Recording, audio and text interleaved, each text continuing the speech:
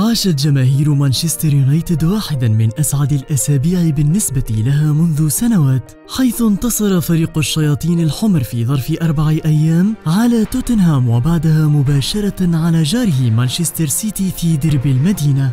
انتصارا لم ينعش فقط جماهير مانشستر يونايتد بل أيضا ملاك النادي الذين قرروا مواصلة التعويل على المدرب النمساوي سولشاير.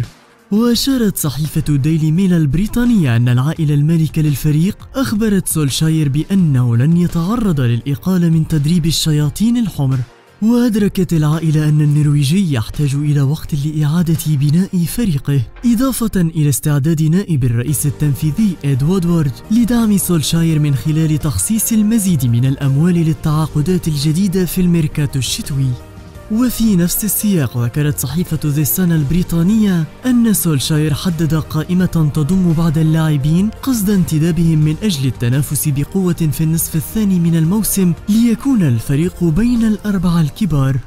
ويضع سولشاير مواطنه النرويجي إيرلينغ هالاند والإنجليزي جيمس ماديسون والدنماركي كريستيان إريكسن كأهداف في فترة الانتقالات الشتوية المقبلة.